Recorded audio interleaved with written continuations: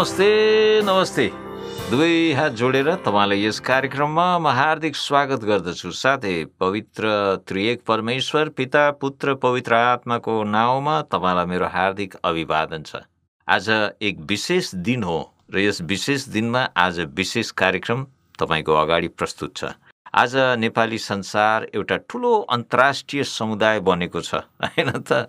केही दशक अघिसम्म दुर्गम नेपालको हिमाली भौगोलिक परिवेशमा बाँचिरहेका नेपाली भाषी आफ्नो जीविका आर्जनको निम्ति बसाई सर्दै सर्दै गए। पहाडबाट तराई र तराईबाट सिमाना पारी। यसै क्रममा यो ताती निरन्तर नै रह्यो। अब त यसले धेरै धेरै सिमाना काटिसक्यो। धेरै धेरै पर्वत श्रृङ्खलाहरू र धेरै धेरै समुद्र तरिसकेको छ होइन त? परमेश्वरको महान पूर्वी योजनामा चार जुलाई अर्थात् बाइस असार विक्रम सम्बत उन्नाइस सय आठमा टेटी ठमेल काठमाडौँका एक नेवार परिवारमा गङ्गा प्रसाद प्रधानको जन्म हुन्छ। उहाँको जन्मको नाम नरसिंह नारायण प्रधान। भर्खरै जन्मेको नेपाली इसाई समुदायमा यो जन्मले एउटा इतिहास रच्ने क्रमलाई जारी गर्दछ। बत्तिसमा दिने यहुनाले उद्धारकर्ता यीशुको निम्ति बाटो तयार पार्ने बोलावट पाए जस्तै पादरी गङ्गा प्रसाद प्रधानले नेपाली भाषा साहित्य र शिक्षाको क्षेत्रमा एक महत्त्वपूर्ण बाटो तयार पार्ने व्यक्तित्वको रूपमा स्मरणीय छन् र उहाँ हाम्रो हृदयमा रहिरहनेछन्। आजको यो आत्मिक यात्रा उहाँको एक सय सत्तरौँ जन्म जयन्तीको उपलक्ष्यमा यो विशेष कार्यक्रम सबैको प्रेरणाको निम्ति प्रस्तुत गर्दछु। म तपाईँको भाइ र अहिले तपाईँ सुन्दै हुनुहुन्छ बिलिभर्स इस्टर्न चर्च समुदायको तर्फबाट प्रस्तुत तपाईँको आफ्नै नौलो नेपाली कार्यक्रम आत्मिक यात्रा।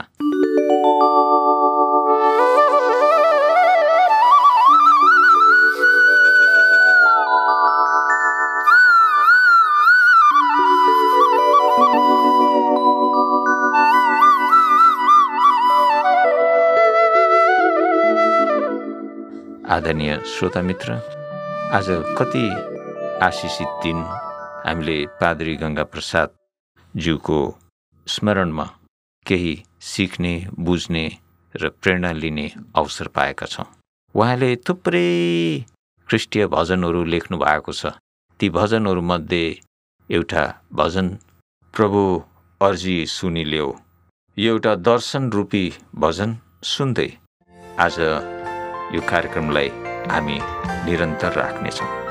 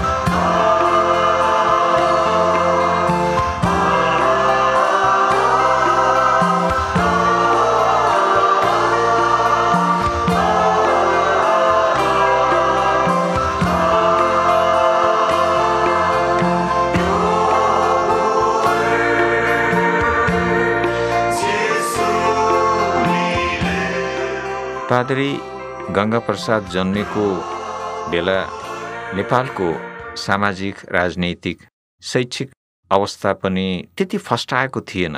यो राणाकालीन समयको परिधिहरूले गर्दा धेरै किसिमका समस्याहरू थिए। जनसाधारणको आर्थिक अवस्था त झनै सोच्नै नसकिने थियो। बेरोजगारीको मारमा परेका जनता हातमुख जोड्न देशबाट पलायन भइरहेका थिए। बाल्यकालमा नै परिवारको साथमा पलायन भई मुगलान आएका नरसिंह नारायण प्रधानको बाल्य जीवन कठिन भए पनि त्यही कठिनाइले समाज र जातिलाई डोर्याउने एक प्रबुद्ध व्यक्तित्व जन्मायो गङ्गा प्रसादको रूपमा। कठिनाइसँग हार माने त्यसले मानिसलाई नाश पार्छ। तर साहस साथ कठिनाइको सामना गरे त्यसले प्रगति र परिवर्तनको ढोका खोल्दछ भन्ने कुरा गङ्गा प्रसादको जीवनबाट चरितार्थ हुन्छ। गङ्गा प्रसाद एक्लै हुट्याउँले स्वर्ग थाम्न सकेको कथा हो। आवश्यकता घटी कमी खाँचो र अभावभित्र एउटा आशा र हिम्मत बोकेर जिउने व्यक्तित्व हुन् गङ्गा प्रसाद हाम्रो निम्ति एउटा ठुलो उदाहरण एउटा ठुलो प्रेरणा र नेपाली जातिलाई परमेश्वरले दिनुभएको एउटा अमूल्य वरदान हुनुहुने। थोरै स्कुले शिक्षामा धेरै ज्ञान बटुलेर त्यही ज्ञानलाई कठिन जीवनको अनुभवले दिएको बुद्धिद्वारा प्रयोग गर्ने पादरीको योगदान भाषाको उत्थानमा मात्र थियो वा चर्चप्रति मात्र थियो? भन्नु उनीप्रति अन्याय हुन्छ। उनी भर्खरै आकार लिइरहेको मुगलाने समाजको पथ प्रदर्शक पनि थिए। पादरीको भजन रचना पनि भजन मात्र नभएर प्रार्थना थियो भक्ति थियो र शिक्षा पनि थियो। आज पनि बडो श्रद्धाका साथ गाइने उनले रचेका भजनहरूले मानिसहरूको हृदयलाई छुन्छ जीवनलाई छुन्छ। अनि थुप्रै भजनहरू आज पनि बडो भक्तिसाथ चर्च गिर्जामा गाइन्छ। उनले थापथली भातगाउँ पाटन काठमाडौँ सहर छन्। तिनलाई तिम्रो भक्ति पार्नु प्रभु हाम्रो रहर। भनी गाएका भजन रूपी प्रार्थनाको फलस्वरूप आज यिनै सहरहरूमा प्रभुका जनहरूको राम्रो राम्रो झुन्ड मण्डली गिर्जाहरू छन्। परमेश्वरले अद्भुत तरिकाबाट गङ्गा प्रसादको प्रार्थनालाई सुन्नुभएको छ। पादरीले प्रयोग गरेका झर्रा नेपाली शब्दहरू आज लोप भइसकेका छन्। शब्दकोशहरूमा पनि ती समावेश गरेको पाइँदैन।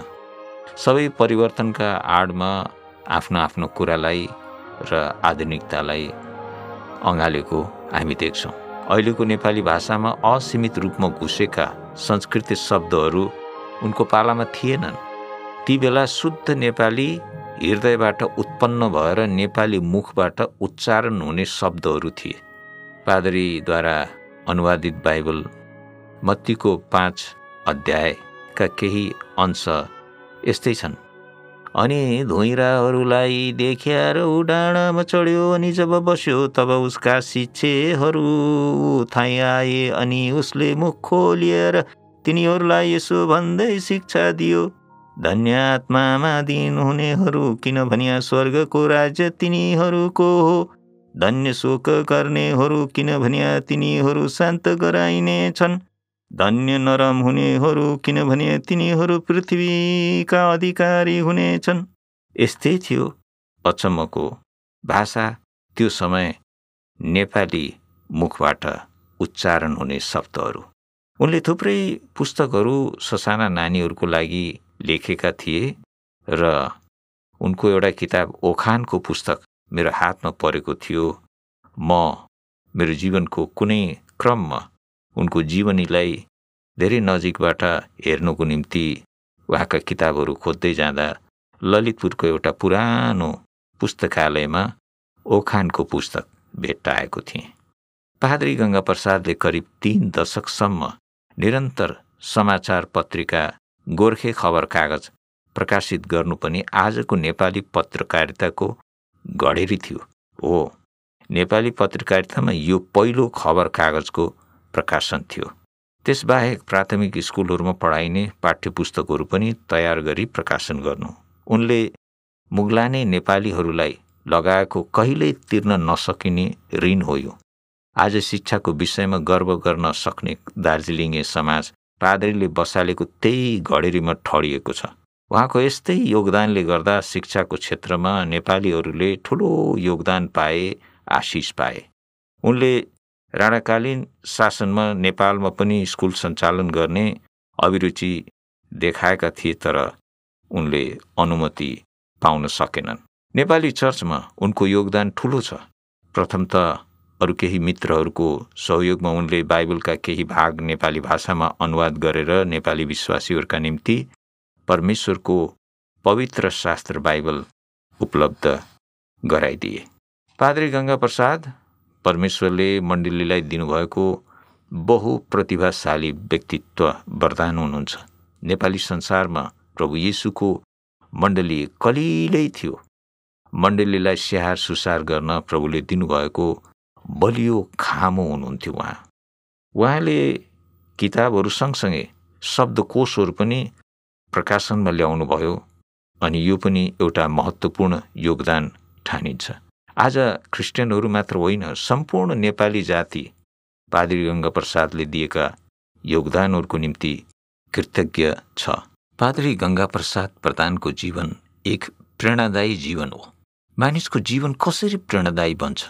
जब दुःख कष्ट सङ्घर्ष कमी यी सबै कुराहरूबाट भएर त्यो मान्छे परिश्रम साथ एउटा गन्तव्यतिर उक्लन्छ त्यो व्यक्तित्व प्रेरणादायी बन्छ। हेर्नुहोस् न। ससाना नानीहरू एउटा कलिलो उमेरमा स्कुल जाने गर्छन् भने पाद्री गङ्गा प्रसाद उन्नाइस वर्षको उमेरमा उनी मेकफार्लनले सुरु गरेको स्कुलमा भर्ना भएका थिए। उन्नाइस वर्षमा उनले शिक्षाको सुरुवात गरे। दिन रात कोइला बोक्ने एउटा भरिया केटोको रूपमा उनी एक दिन दिक्क भए र आफूले बोकेको कोइलाको भारी एकातिर पन्साएर उनी स्कुलतिर लाग्ने र पढ्ने जमर्को गरे। हेर्नुहोस् त जब परमेश्वरको हातमा यो कोइला बोक्ने भरिया केटो पर्यो यो कलिलो केटोको जीवनले नेपाली भाषा साहित्य शिक्षा र इसाई विश्वासलाई एउटा उज्जवल भविष्यतिर डोर्यायो। यही हो प्रेरणादायी जीवन। मान्छेको सङ्घर्षमय जीवनले केही उपलब्धि अवश्य गर्छ। पाद्रीको जीवन यस कुराको प्रमाण हो। कति समस्याहरू थिए पाद्रीको घर परिवारमा अनि धेरै कुराको सङ्कष्टहरू थियो तर यी सबै कुराहरूको माझमा उनले आफ्नो जीवनमा एउटा लक्ष्य लिए एउटा गन्तव्य बोके र त्यसैमा अगाडि बढे। जब कुनै जीवन परमेश्वरको हातमा पर्छ त्यहाँ आश्चर्य कर्म हुन्छ अनि त्यही नै भयो पाद्री गङ्गा प्रसादको जीवनमा। पाद्रीको योगदानलाई दुई चारवटा कुरा गरेर गफ गरेर हामीले यहाँ अन्त गर्नु यो दुर्भाग्यपूर्ण हुन्छ। त्यसैले यो योगदानले धेरैको जीवनलाई छुँदै निरन्तर अघि बढिरहेको छ। यही भन्नु नै उपयुक्त र उहाँप्रतिको साँचो सम्मान हुनेछ।